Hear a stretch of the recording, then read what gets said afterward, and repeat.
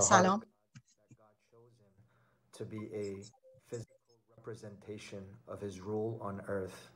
واقعا خداوند چه دلش می‌خواد که مشاهدگر کارش ما باشیم در روی زمین.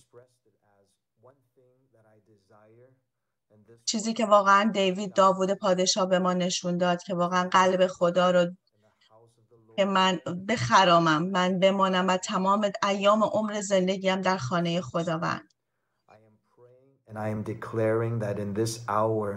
و این چیزی هستش که ما دعا می‌کنیم. من دعا می‌کنم که ما هم همچنین باشیم. تنها چیزی که می‌خوام در خانه خداوند ساکن باشم که در بدن جهانی خداوند و با اون برکتی که داوود داشت.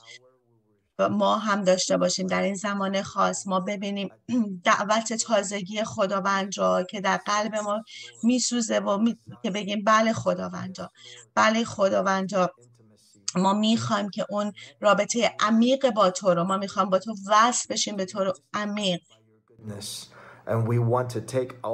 که یکی بودن با تو باشیم و چیزی رو از دست ندیم. که تمام وجود ما رو در بر بگیر و ما رو تمیز کن و ما رو, ما رو به قدوسیت خودت نزدیک کن و اون چیزی که می‌خوای ما انجام بدیم در زمین. آمین.